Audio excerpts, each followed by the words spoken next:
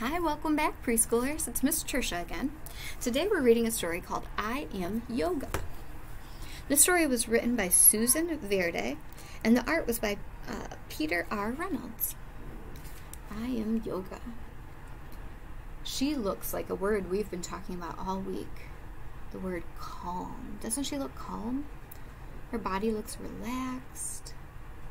She looks like she's not worrying about anything or thinking about anything just clearing her mind.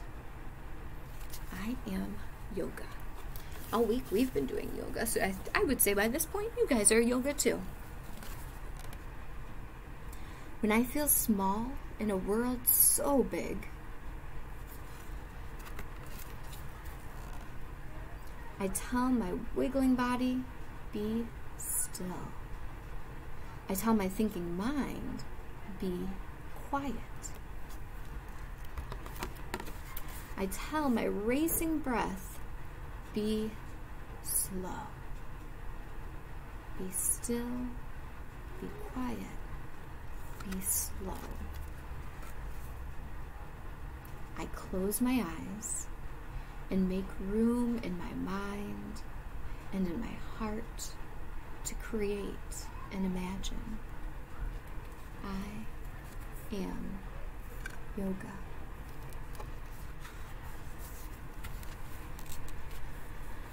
Can touch the sky. I'm so tall. I can soar among the clouds. I'm so free.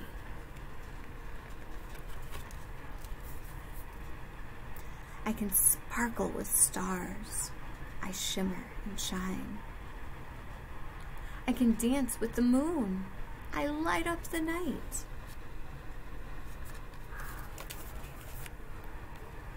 I can sail to the sea. I go with the flow. I can open my heart. I feel love.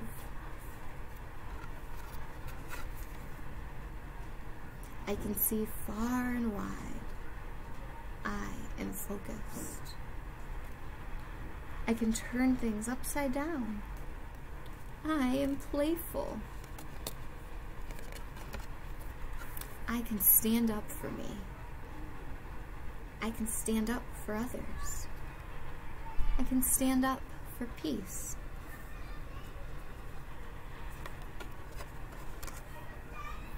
I can open like a flower. I am beautiful.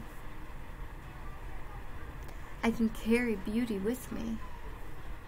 I am full. I can say I've had enough for today. I relax. I can rest. I am calm.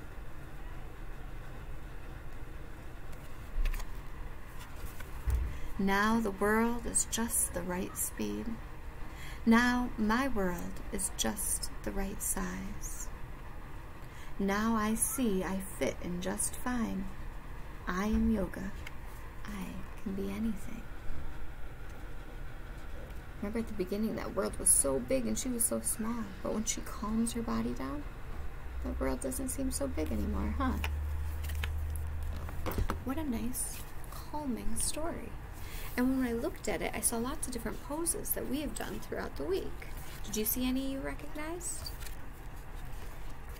She's standing nice and tall at the beginning. I think before we've done the tree pose. We didn't do that this week.